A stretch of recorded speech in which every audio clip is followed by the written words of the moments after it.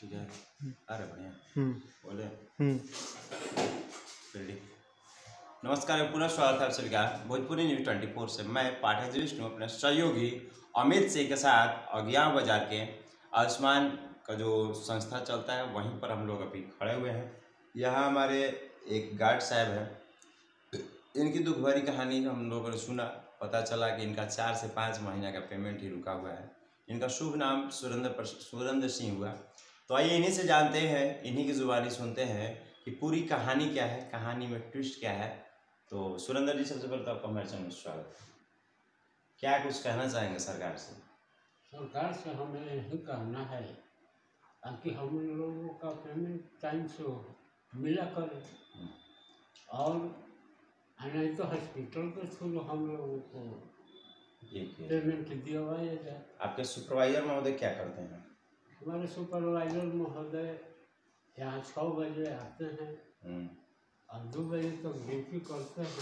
उसके बाद फिर कहीं कहीं काम लग जाता है तो चले जाते हैं। हम्म। क्या नाम है उनका? अंकल सिंह। टोटल आप गार्ड साहब में कितने स्टाफ का चार स्टाफ हैं। डे और नाइट मिलाकर सारे और नाइट मिलाकर जैसा कि अभी आपकी मेन प्रभारी में है डॉक्टर नीलम जी। हाँ। उनसे आपने अखिलेश सर हैं? अखिलेश जी हम्म। मतलब मेन डॉक्टर के रूप में हाँ, तो नीलम जी और प्रभारी अखिलेश सर से आपने ये अपनी दुख भरी कहानी कहा कि नहीं कहा?